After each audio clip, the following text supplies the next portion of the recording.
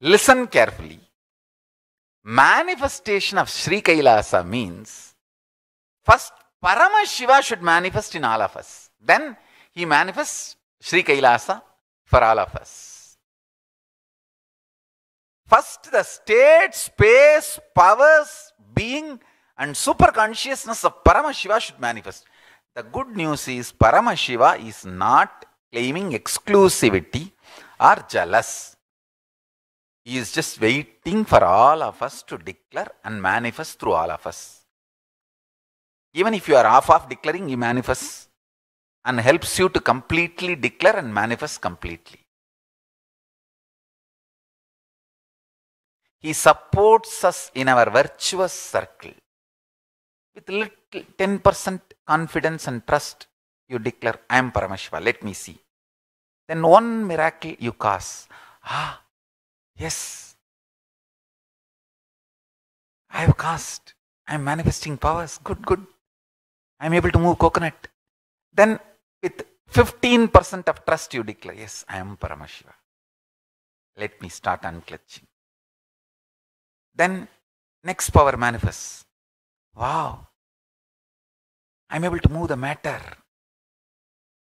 Then, wow. With 25% of the trust and intensity, I am Paramashiva.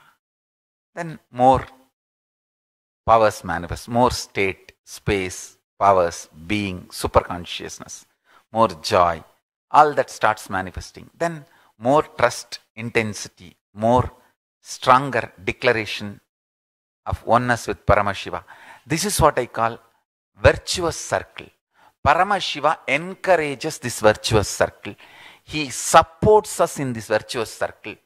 He appears in deities, Archavatara, in Guru, in Linga, in Sangha, and helps us in this virtuous circle. To help us in this virtuous circle, he manifests as Guru, Linga, and Sangha. He manifests as Guru, he manifests as Linga in Archavatara, he manifests as Sangha, the right friends who integrate you to Guru and Linga. Understand? Nothing can be compared to. Listen. Nothing can be compared to spiritual strength. If you want Sri Kailasa to manifest, you have to manifest Paramashiva. You have to intensely connect with him. Prabhu, Mahadeva, let me melt in you, Paramburule, Paramashiva.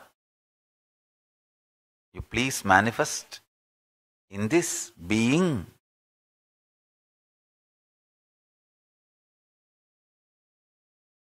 Nothing is equivalent to the spiritual strength.